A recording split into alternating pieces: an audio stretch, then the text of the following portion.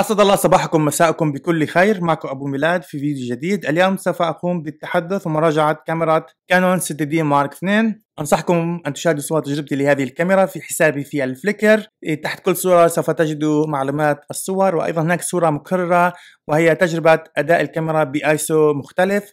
وفي نهاية هذا الفيديو سوف أضع صور تجربتي لهذه الكاميرا. المقطع الأخير يحوي على موسيقى. أيضا خلال هذا الفيديو سوف أعرض بعض المقاطع لتصوير الفيديو بهذه الكاميرا. المقاطع هي تصوير ليلي لمدينة نيويورك في القارب. أتمنى أن ينال إعجابكم. فبداية سوف أتحدث عن الأمور التقنية في هذه الكاميرا. وبعد ذلك سوف ننتقل إلى رأيي الشخصي وبعض المقارنات وتلخيص. فعمليا هذه الكاميرا هي تحمل مستشعر full frame من شركة كانون المستشعر ينتج صور بحجم 26 ميجا بكسل الكاميرا تأتي مع معالج جديد وهو DIGIC 7 نظام ال focus يحوي على 45 نقطة focus. الكاميرا تصور فيديو بحجم full HD بسرعة 60 إطار في الثانية وأيضا 30 و24 إطار في الثانية. هناك مقلل اهتزاز إلكتروني لتصوير الفيديو في هذه الكاميرا. عمليا مقلل الاهتزاز الالكتروني يختلف عن مقللات الاهتزاز الميكانيكية الموجودة في العدسات أو في بعض الكاميرات. أيضا هذه الإمكانية ممكن أن تجدها في برامج مونتاج الفيديو فهناك مقلل اهتزاز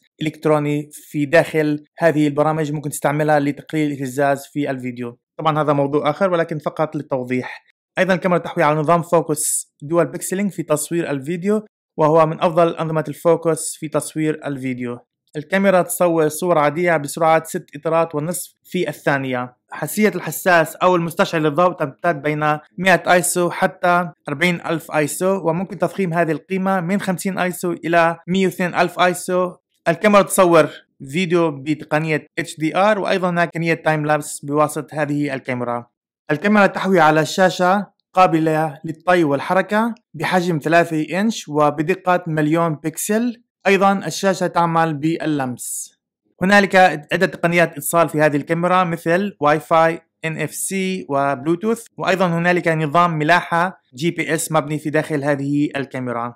هنالك منفذ واحد لكروت الذاكرة من نوع SD card وأيضا هناك عدة منافذ مثل mini USB و mini HDMI-C وأيضا هناك منفذ لميكروفون خارجي. الكاميرا لا تحوي على منفذ لسماعات خارجية. أيضا لا يوجد في هذه الكاميرا فلاش مبني في داخل الكاميرا وإنما هناك منفذ لفلاش خارجي. سرعة الغرق تمتد بين 30 إلى 1 على 4000 جزء من الثانية. البطارية الموجودة في هذه الكاميرا تعطيك أن تصور كمعدل 1200 صورة على قوة البطارية. وزن الكاميرا هو 665 جرام. فعمليا هذه الأمور التقنية لهذه الكاميرا. عمليا هذه الكاميرا هي تحديث لإصدار كانون 6D الإصدار الأول. إذا كنت تملك كانون 6D الإصدار الأول وتفكر أن تقوم بشراء هذه الكاميرا طبعا أنصح بهذا الأمر لأنه تم تحسين الكثير من الأمور في هذه الكاميرا. معالج أفضل مستشعر أفضل نظام focus أفضل شاشة أفضل نظام focus في الفيديو أفضل سرعة التصوير هي أفضل هناك عدة تقنيات زي WiFi Bluetooth إلى آخره. فعمليا إذا كنت تملك الإصدار الأول بعد خمس سنوات تفكر بتحديث الكاميرا فأنني أنصح بهذه الكاميرا. أما إذا كنت تريد أن تشتري كاميرا جديدة فعمليا الأمر يتعلق بالميزانية المخصصة لشراء هذه الكاميرا.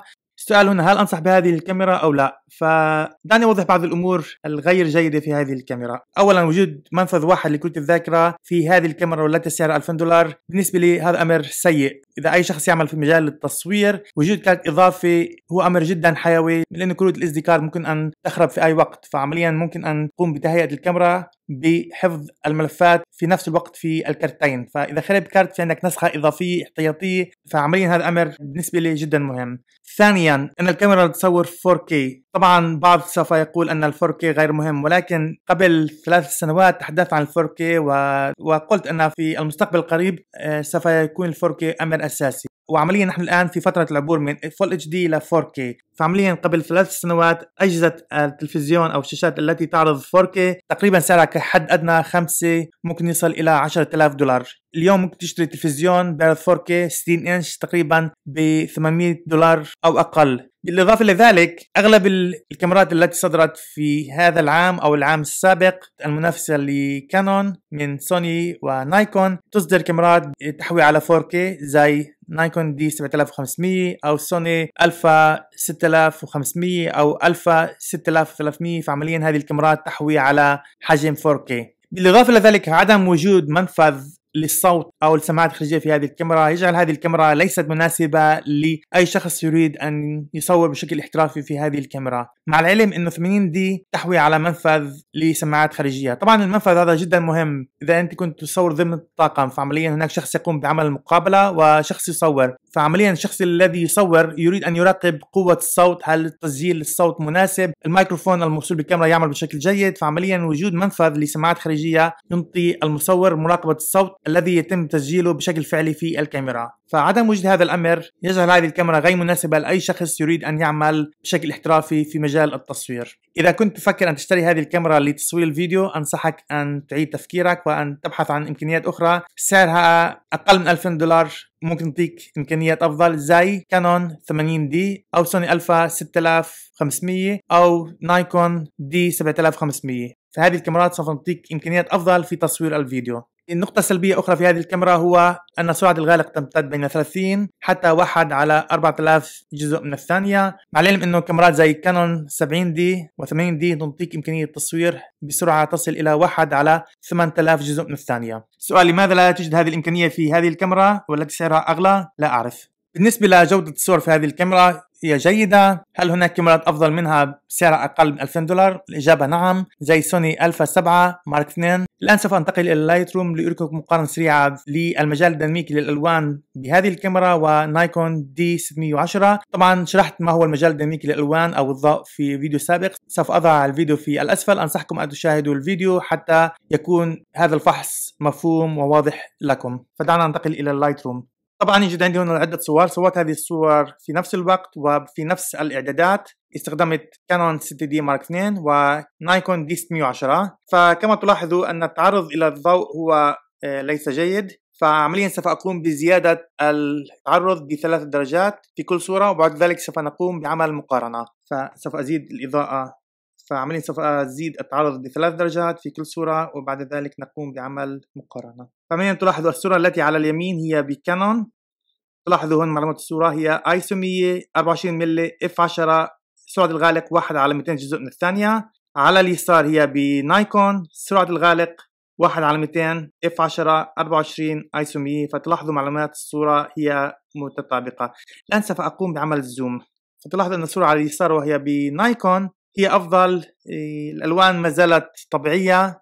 أما اليمين ب Canon تلاحظوا وجود نوع من الضجيج أو النمش أو ال noise في الصورة. أيضا يوجد هناك خلل في الألوان. سوف أعطي مثال آخر وسوف أقوم بنفس العملية زيادة التعرض بثلاث درجات في كل صورة. فمن تلاحظوا الصورة التي على اليمين هي ب Canon. ISO 24 ملي F 7.1 و1 على 200 جزء من الثانية. على اليسار هي ب Nikon ISO 200 24 ملي F 7.1 سرعة الغالق 1 على 200 جزء من الثانية. فدعنا نقوم بعمل zoom. فتلاحظوا الفرق. على اليسار نايكون على اليمين Canon. فلاحظوا الضجيج الذي موجود في الصورة.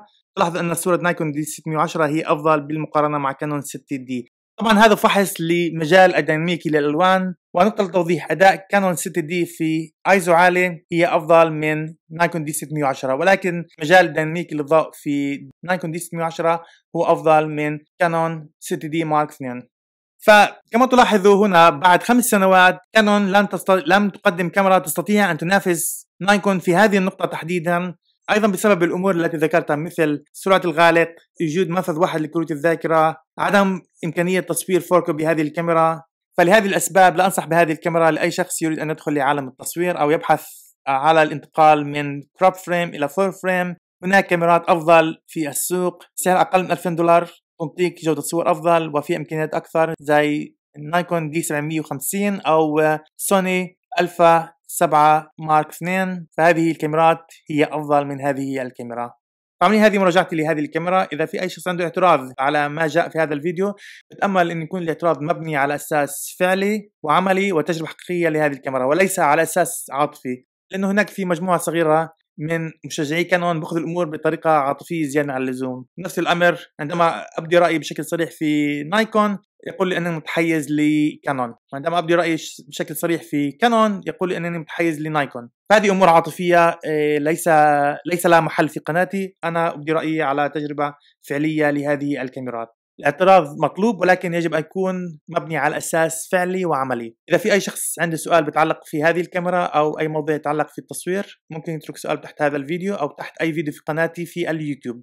أيضا أدعوكم لمشاركة هذا الفيديو مع الآخرين وتشجيع الآخرين على الاشتراك في قناتي. في النهاية أتمنى لكم مشاهدة ممتعة مع صور تجربتي لهذه الكاميرا. إلى اللقاء. مع تحياتي. أبو ميلاد.